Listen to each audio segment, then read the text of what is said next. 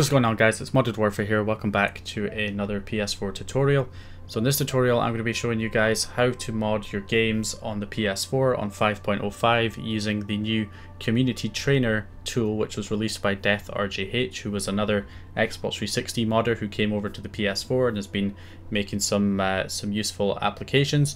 So he's he's made this uh, Community Trainer tool which I'll just open up here and show you and it is basically a trainer that remotely connects. It's an RPC tool. It remotely connects to the PS4.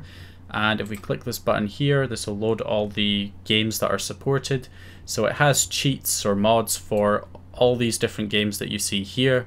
And I'm sure more will be added because it is a community trainer. So I believe people can add to this. So you should see even more games being supported in future. Um, so first things first, uh, if you want to go ahead and mod one of your games, make sure it's listed on here. Second of all, make sure you have a matching CUSA. Uh, so make sure the title ID matches. So I'm going to do Dying Light, uh, which is this ver this version here, CUSA 03991. There are different versions, so you know make sure that your version is in here. Um, there's multiple versions of the same game in here as well, so you can see uh, the Uncharted Nathan Drake collection, there's you know four different versions for different title IDs. Nope, these are all the same title IDs, but they're on different updates.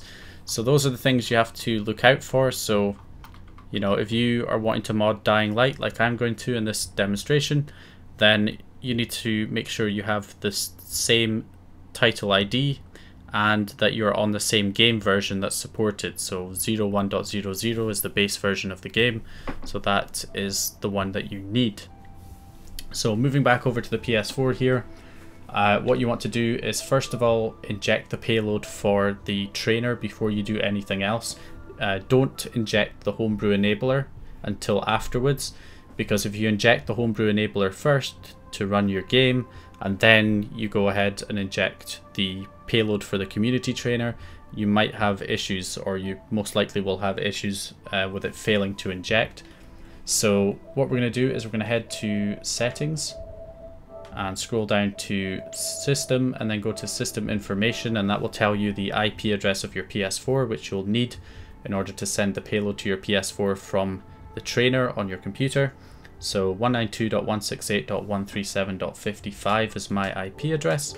So I'm going to note that down and then head on to your internet browser.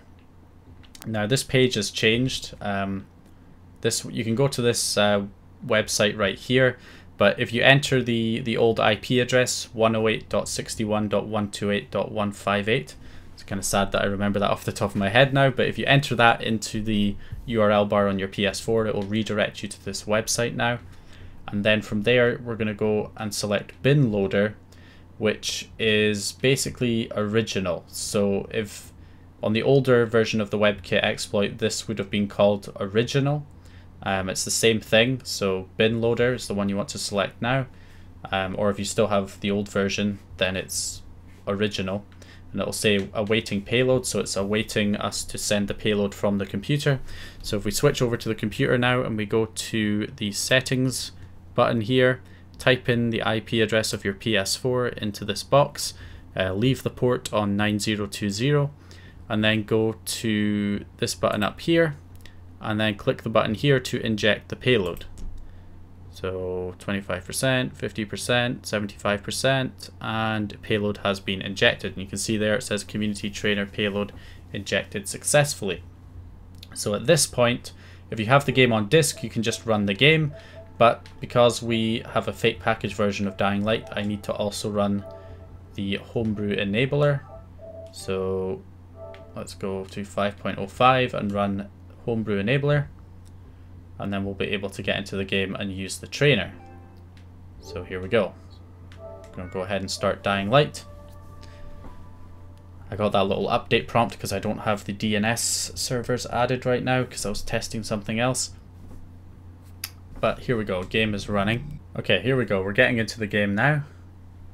So, I've only like just started a new game, so I haven't leveled up really or done anything. Um, so what we're going to do is we're going to go to the little console icon, and that's going to again load all the trainer information. We're going to scroll down to Dying Light and we're going to click it. And boom, there we go. It says the community trainer has been attached to Dying Light. So now all I have to do is go ahead and put on God mode. Uh, infinite ammo, I mean I don't have a gun yet in the game so I can't exactly show that but I guess we'll enable it anyway. Um, no reload might as well. Infinite weapon durability, that I can show that. Uh, grappling hook and stamina. I don't have the grappling hook unlocked yet, unfortunately, either. But, I mean, stamina, I guess that works. Uh, freeze part slash item count. Uh, oh, right, okay, so, you know, if I have only one item and I spend it, it'll stay in my inventory. Uh, and then we'll do max money, so let's just switch back over to the game here so I can show that um, where are we? Here we go. So you can see it says cash zero um, in the right. It's kind of small there in the in the kind of bottom right. It says cash zero. I don't have any money in the game yet. And if I go to skills, I am level one. I only have one skill unlocked. So there we go. So back over here, let's go ahead and do max money. Let's do max XP now as well. Click that. Okay, so back here in the game. Let's see what's happened. Cash is still zero. Agility level up. Oh, maybe that did... Okay, yeah, there you go. It just took, I just had to refresh it by earning some uh, some agility points. And now my agility's gone up to max, and I can pretty much... Wow, I said I wouldn't be able to unlock the grappling hook, but actually, I should be able to. I don't think the grappling hook is in agility, maybe it's in survivor. Okay, I went a bit further on here just so that I could unlock everything. You have to refresh things for, you know, for stuff to be added. So, you know, when I set all of my agility really high with the tool, I have to refresh that by actually like earning some agility points. Uh, and so it's the same with money, I'm assuming. So I have, I still have nothing even though I set, you know, max money. But if I go to trade and maybe sell something, then that might... Yep, there we go. That refreshes it. So you can see my cash is now through the freaking roof. And I could pretty much buy any of this stuff. Uh, let's go for this axe right here. I should be able to equip that now. If we go to inventory, oh, I already have it equipped. So now I have max money, max everything else, and I should also have, there we go, grappling hook, which I can now equip. If I can remember how to use it. So I should have, um, the tool has unlimited grappling hook, so how do I use this again? There we go. So yeah, that doesn't go down whatsoever now. I can keep using it and using it. Normally there's like a recharge on the grappling hook if you've never played this game before. There's normally a recharge rate, but with the tool you can keep on using it and using it and using it.